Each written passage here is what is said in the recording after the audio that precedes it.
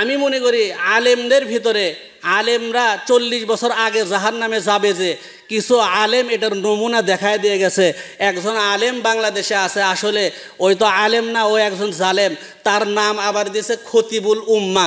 আমি মনে করি সে খতিবুল সাত মানে ছাগলের খতিব। আল্লাহ মামুনুল হক দামাত বারকাতুহুম, তিনি যখন মূর্তির বিরুদ্ধে তখন ঐক্যবদ্ধ হয়েছেন যখন ডাক দিয়েছেন এই খতিবুল উম্মাহ নামে ছাগলের উম, ছাগলের খতিবে ছাগল। এই ছাগলটা বলতেছে, নাসুহা মানে একনিষ্ঠ তৌবা করো। নাসুহা শব্দের অর্থ পৃথিবীর কোনো তাফসিরে নাসুহা কোনো ব্যক্তির নাম না। নাসুহা মানে একনিষ্ঠ তৌবা এই খতিবুল উম্মা নামে ছাগলের খতিব বলেছিল যে, নিক্রণ চৌধুরী, সে বলেছে, আলেমদের চামড়া খুলে নেব আমরা, তোমরা মাঠে আসো, তোমার সাথে খেলা হবে। তোমরা কয় নাম্বার মানুষ, সেটা আমাদের জানা আছে। মদ খায়া খায়া নবীজি তখন দিনের দাওয়াত দেওয়ার জন্য গেলেন, তার ওপরে এরকম অনেক বাধা আসছে কি আসে নাই। ঠিক তেমনিভাবে বর্তমান সময়ে নবীজি ওয়াসাল্লাম বলেছিলেন যে, তোমরা দেখবে কিছু মানুষ, কিছু মূর্তি নিয়ে তারা পূজা শুরু করে দিবে। ঠিক সেই সময় এখনও কিন্তু এই রকম মূর্তি বেনে পূজা করা শুরু করে দিছে। কথা বলেন ঠিক কি না? আমি বলতে চাই যে, দেখেন, বঙ্গবন্ধু শেখ মুজিবুর রহমান ঠিক আছে, তিনি বাংলাদেশ স্বাধীনতার একজন স্থপতি। তিনি বাংলাদেশকে একটা স্বাধীন বাংলা হিসেবে তিনি গড়েছেন। তার অবদান ছিল, এটা আমরা অস্বীকার করছি না। কম বেশি যেটাই হোক তিনি করেছেন। তাকে ভালোবাসার জন্য যে তার মূর্তি তৈরি করে পূজা করতে হবে, এটা কি কখনো সম্ভব? এটা কি ভালোবাসা? আমি মনে করি এটা বঙ্গবন্ধু শেখ মুজিবুর রহমানের ওপরে একটা জুলুম করা কথা বলেন ঠিক কিনা। কারণ যদি আমরা শেখ মুজিবকে যদি আমরা ভালোবাসি, তাহলে আমরা শেখ মুজিবের নামে মাদ্রাসা মসজিদ করে দিতে পারি, কথা বলেন ঠিক কিনা? আমরা নবীজিকে এত বেশি ভালোবেসেছি, সাহাবা একরামরা নিজের জীবনের সে নবীকে বেশি ভালোবেসে বেসেছেন, কথা বলেন ঠিক কিনা? এবং কোনো সাহাবিদেরকে, কোনো তাবে তাবেইনদেরকে কোনো ওলামা একরামদেরকে আমরা দেখি নাই যে তারা নবীদের মূর্তি বেনে রাখছেন। তো আমরা এই মূর্তি বেনে যদি তাকে স্মরণই করা যাইতো, তাহলে পৃথিবীর ভিতরে যত মুসলমান আছে, সমস্ত মুসলমানের পকেটে নবীজির একটা করে মূর্তি থাকতো, কথা বলেন ঠিক কিনা। এই মূর্তি রাখা জায়েজ নাই জন্য, এই মুক্তি রাখা হারাম জন্য, এই জন্য আমরা রাখি নাই। আমাদের হৃদয়ের ভিতরে মোহাম্মদের নামটা আমরা অঙ্কন করে রেখেছি, জোরে বলুন আল্লাহ একবার কথা বলেন ঠিক কিনা?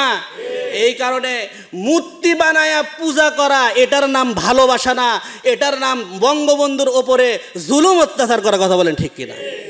হাদিস শরীফের ভিতরে এরকম আসছে, আল্লাহ রসুল সাল্লাহ আলাইসাল্লাম বলেছেন, মূর্তি যারা বানাবে, প্রাণী যারা বানাবে, অর্থাৎ প্রাণী যারা আছে, কুকুর, বিড়াল, সাপ, এরপরে বাঘ, ভাল্লুক, আমরা অনেক কিছু বানাই, মানুষের মূর্তি বানাই, মানুষের ছবি আঁকি এইভাবে প্রাণীর ছবি আঁকি।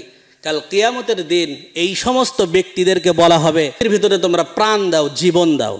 তখন জীবন যখন দিতে পারবে না বলবে, যাও, বিনা হিসেবে তোমরা জাহান নামে যাও, হাজার হাজার বছর জাহান নাম খাটো। জোরে বলুন নাউজবিল্লা এই কারণে আমি বলতে চাই যে এই মূর্তি দিয়া ভালোবাসা, এটা কোন জায়গায় পাইছেন? এটা ইহুদি নাসারাদের একটা চক্রান্ত, কথা বলেন ঠিক কিনা। এরা নিজের চেয়ারকে ঠিক রাখার জন্য ইসলাম বিরোধী কাজ করার জন্য, কোরআন বিরোধী কাজ করার জন্য তারা কয়েকটা ভাস্কর্য আর মূর্তির ভিতরে কি পার্থক্য? আমি মনে করি কোনো পার্থক্যই নাই। একটা নামের একটা স্টাইল। যেরকম আমরা অনেকে বলি সুদ। না না, সুদ বলা যাবে না ইন্টারেস্ট না ইন্টারেস্ট বলা যাবে না, মুনাফা, কথা বলেন ঠিক কিনা? আজকে মূর্তির নামে ভাস্কর্য ছবি এই সে আপনি বানায় দিতেছেন। মূর্তি কখনো ভাস্কর্য হতে পারে না, মূর্তি মূর্তি, কথা বলেন ঠিক কিনা? ঠিক তেমনিভাবে আমি যেটা বলব সেটা হচ্ছে সারা পৃথিবীর সমস্ত মুসলমানেরা এই মূর্তি বানান দিয়া, এই মূর্তি দিয়া, ঠিক আছে, কখনো ইসলাম প্রচার করা যাবে না এবং এই মূর্তি রেখে কোনোদিন মুসলমানদের ভিতরে এই মূর্তি থাকতে পারে না, কথা বলেন ঠিক কিনা?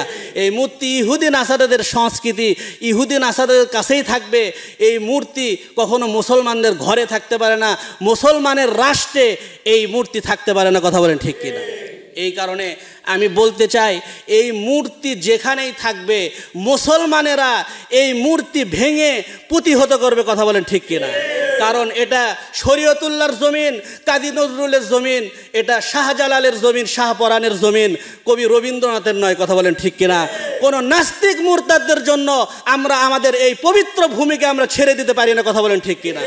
এই কারণে আমাদের প্রত্যেককে ঐক্যবদ্ধ হতে হবে যে আমাকে মৃত্যুর ভয় দেখায় কোনো লাভ নাই। হয়তো বলতেছে, হুজুর, আপনি বলতেছেন, বাহিরে গেলে আপনার কি হবে জানেন? আমি মৃত্যুর কোনো ভয় পাই না, মৃত্যুর কোনো পরোয়া করি না। আমি তো সেই ইব্রাহিম আলাইহিসালামের সন্তান যিনি মূর্তিকে ভাঙার জন্য আগুনের ভিতরে তিনি নিক্ষিপ্ত হয়েছিলেন, কথা বলেন ঠিক কিনা? এই কারণে আমি বলতে চাই যে বর্তমান সময়ে যে প্রেক্ষাপট, এই প্রেক্ষাপটে মূর্তি নিয়ে যে ব্যবস্থাটা হচ্ছে, এটা আমি মনে করি প্রধানমন্ত্রীরও কোনো দোষ নাই। এখানে প্রধানমন্ত্রীর ডান পাশে আর বাম পাশে কিছু বামপন্থীরা, নাস্তিক মোত্তাদরা বসে গেছে, তাদের বুদ্ধি শুনেই প্রধানমন্ত্রী এটা করতেছে, কথা বলেন ঠিক কিনা? এই জন্য আমি বলি যে দেখেন আপনি শেখ মুজিবুর রহমান যখন মারা যায়, তার জানা যায় কয়জন লোক হয়েছিল? প্রধানমন্ত্রী নিজেই বলেছেন যে আমাকে দুঃখ লাগে, আজকে আমার হাজার হাজার লক্ষ লক্ষ নেতা, কিন্তু যেই সময় আমার বাবার লাশটা এভাবে নিচে পড়েছিল মশা মাসি এসে তার উপর পড়ছে, একটা মানুষও তার কাছে ভেরে নাই। কিন্তু আমি মন্ত্রী কাদেরকে বানিয়েছে, এইসব মন্ত্রী নেতারা তখন কোথায় ছিল? তারা কি তার জানাজা পর্যন্ত করতে পারে নাই? এই রকম মোহাব্বত। তাহলে আপনি চিন্তা করেন যে বর্তমান সময়ে তাহলে যারা এসব প্রধানমন্ত্রীকে দিয়ে করতেছে, আমি মনে করি তারা কিছু টাকার জন্য নিজের পকেটকে ভরানোর জন্য তারা এই রকমভাবে বঙ্গবন্ধুকে মূর্তি বানে তারা মোহাব্বত করতে দেয়। কথা বলেন ঠিক কিনা? আলেম ওলামারা বলেছেন যে আপনার বাবার নামে একটা বড় আপনি মিনার করেন, যে মিনারের নাম হবে মুজিব মিনার। মিনারের নাম কি হবে? যে মিনারটা ইন্ডিয়ার ভিতরে একটা মিনার আছে, সেই মিনারের নাম কুতুব মিনার। কুতুবুদ্দিন আল তামাস হচ্ছে তিনি প্রেসিডেন্ট ছিলেন, বাদশাহ ছিলেন, এই কারণে তার নামে একটা কুতুব মিনার করা হয়েছে যে ইন্ডিয়ার ভিতরে সবচেয়ে বড় যে মিনার। তো আমি মনে করি বাংলাদেশের ভিতরে ওই মিনারটা করা হোক, যে মিনারের নাম মুজিব মিনার, সেটা দিয়ে আপনার বাবাকে আমরা স্মরণ রাখব। কথা বলেন ঠিক কিনা? এই কারণে মূর্তি দিয়া যে স্মরণ করতে হবে, এটা ইসলামের কোনো সংস্কৃতি নয়। কথা বলেন ঠিক কিনা? এই কারণে আমাদের প্রত্যেকের ঐক্যবদ্ধ হতে হবে। এরপরে কিছু নাস্তিকরা তারা কি করতেছে? এই কথাগুলো বলতে গেছে। মাহফিলের ভিতরে হুজুরের সাথে, একজন আলেমের সাথে খারাপ ব্যবহার করেছে। আমি মনে করি আলেমদের ভিতরে আলেমরা চল্লিশ বছর আগে জাহার নামে যাবে যে কিছু আলেম এটার নমুনা দেখায় দিয়ে গেছে। একজন আলেম বাংলাদেশে আছে, আসলে ওই তো আলেম না, ও একজন জালেম। তার নাম আবার দিয়েছে খতিবুল উম্মা। আমি মনে করি সে খতিবুল সাত মানে ছাগলের খতিব। সে মানুষের ক্ষতি হতে পারে না। সে বলে কি জানেন?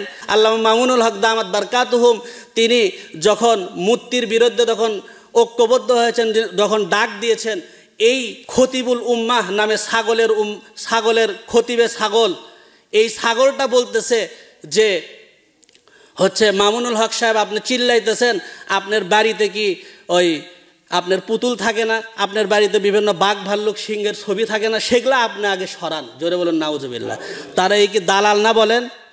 এক নাম্বার দালাল, যেই দালাল বলেছিল ইলাল্লাহি নাসুহা। নাসুহা মানে একনিষ্ঠ তৌবা করো। নাসুহা শব্দের অর্থ পৃথিবীর কোনো তাফসিরে নাসুহা কোনো ব্যক্তির নাম না। নাসুহা মানে একনিষ্ঠ তৌবা। এই খতিবুল উম্মা নামে ছাগলের খতিব বলেছিল যে, এটা নাকি নাসুহা নামে একজন ব্যক্তি আছে, তিনি নবীও ছিলেন না, নবীর সাহাবিও ছিলেন না, সাধারণ একজন বুজুর্গ ছিলেন। তার তৌবা করা এত বেশি সুন্দরভাবে তৌবা করছে, আল্লাহ তার ওপর খুশি হয়ে গেছে। জোরে বলুন, নাউজুবিল্লাহ। এইরকম এইরকম ভুল ভালো তিনি বক্তব্য দিয়েছেন, শুধু তাই নয় আল্লামা সাইদি, যিনি সারা পৃথিবীর ভিতরে, আমি মনে করি একটা রানী গোলাপ, যেটা একশো বছরেও একবারও ফোটে না, কথা বলেন ঠিক কিনা? সে আল্লামা সাইদির বিরুদ্ধে, কোরআনের পাখির বিরুদ্ধে বলছিল যে রাজাগার না হলে এমনি তাকে জেলখানার ভিতরে দেওয়া হয়েছে। এই রকম কিছু বামপন্থী আলেমদের কারণে আজকে ইসলাম ধ্বংসের পথে কথা বলেন, ঠিক কিনা?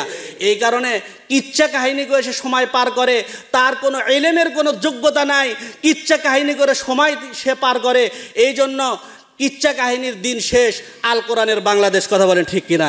এই কারণে আমাদের ঐক্যবদ্ধ হতে হবে যে কোনো শয়তান যেন ইসলামের বিরুদ্ধে কোনো কথা বলতে না পারে শুধু তাই নয়, আরেক নাস্তিক বলতেছে তোমরা যদি মূর্তি বানাতে যদি পুঁতিহত করো, তাহলে আমরা হস করতে দেব না হস করতেও পুঁতিহত করব। জোরে বলো নাউজুবিল্লা শুধু তাই নয়, মাদারিগঞ্জের এলাকায় এক কুলঙ্গার নিক্রণ চৌধুরী, সে বলেছে, আলেমদের চামড়া খুলে নেব আমরা, তোমরা মাঠে আসো, তোমার সাথে খেলা হবে।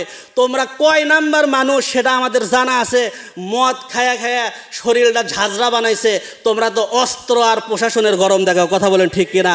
এই মুসলমান কোনোদিন অস্ত্রের ভয় করে না, এই মুসলমান কোনোদিন গুলির ভয় করে না, এই মুসলমান তো সেই মুসলমান যেই মুসলমানের জন্য গরদান চলে যায়, কিন্তু ইসলামকে ধরে রাখে, এক হাত উঁচু করে যতক্ষণ পর্যন্ত বিন্দু পরিমাণ রক্ত মুসলমানের গায়ে থাকবে, ততক্ষণ পর্যন্ত মুসলমান কত স্তব্ধ হয় না, কথা বলেন ঠিক কিনা? তুমি এক মুসলমানকে হত্যা করবা, কোটি মুসলমান এটার প্রতিবাদ করবে, কথা বলেন ঠিক কিনা? এই কারণে আমি বলতে চাই, নিক্রণ চৌধুরী, তুমি নেতা হইছ, তুমি এমপি হইছ, ঠিক আছে কিন্তু এটা কিন্তু জনগণের অনুদান, কথা বলেন ঠিক কিনা? এটা কিন্তু আল্লাহ পাকের মেহেরবানি। অত ইজ্জু অত দিল্লু মাংতাসা যে আল্লাহ তাবারক তালা যাকে ইচ্ছা সম্মান দান করেন, যাকে ইচ্ছা তাকে বেদ যদি দান করেন, তোমাকে সম্মান দান করেছেন বলেই তুমি তোমার গদিতে বসে যা ইচ্ছে তাই বলবে, এটা হতে পারে না, কথা বলেন ঠিক কিনা? ওলামা একরামরা, বাংলার ওলামা একরাম, যদি পিসাব করে যায়, তুমি ভেসে ইন্ডিয়ায় চলে যাবে, কথা বলেন ঠিক কিনা? এই কারণে নিক্রণ চৌধুরী তোমাকে সাবধান করে দিই। তুমি ইসলামের বিপক্ষে কথা বলো না। ইসলামের বিপক্ষে যদি কথা বলো, তোমার ওই কণ্ঠনালীকে যে কোনো সময় আল্লাহ হরণ করে দিতে পারে, কথা বলেন ঠিক কিনা। আলেমদেরকে ইয়া করা এত সহজ ব্যাপার নয়। তোমরা তো দেখাও প্রশাসনের গরম আর অস্ত্রের গরম। হাতাহাতি আসো, চামড়া কে কার খোলে দেখা যাবে, কথা বলেন ঠিক কিনা। এই কারণে আমাদের মুসলমানদের ঐক্যবদ্ধ হতে হবে।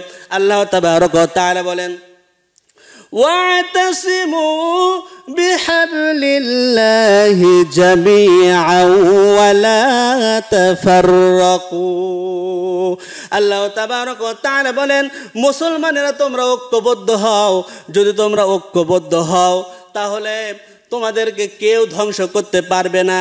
তোমরা বিচ্ছিন্ন হয়েও না। বিচ্ছিন্ন যদি হও, তাহলেই তোমরা বিপদগ্রস্ত হবে। আর তোমরা যদি শক্ত করে সবাই ঐক্যবদ্ধ হও, পৃথিবীর ভিতরে কোনো মুশরিক তোমাদের সামনে আঙ্গুল উঠায় কথা বলা যেতে পারবে না। কথা বলেন ঠিক কিনা? এই কারণে আমাদের প্রত্যেকের জরুরি যে আমরা ঐক্যবদ্ধ হব এবং আমরা ইসলামকে জানব ফাস আলু আহলা দিক্রি ইংকুম তুমলা তালামুন যে যারা আমরা জানি না, আমরা যারা জানে তাদের কাছ থেকে আমরা কি করে নিব? জেনে নিব। আমরা শুনব, মানব। কোরআন আমাদেরকে যেটা দিক নির্দেশনা দিয়েছে, সেই অনুযায়ী আমরা জীবন করব সবাই রাজি আছেন তো ইনশাআল্লাহ? আল্লাহ তাবারক তাআলা আমাদের প্রত্যেককে কবুল করুক, জোরে বলুন, আমিন। এবং আমাদের প্রত্যেককে কোরআনের সৈনিক হিসেবে কবুল করুক জোরে বলুন আমিন।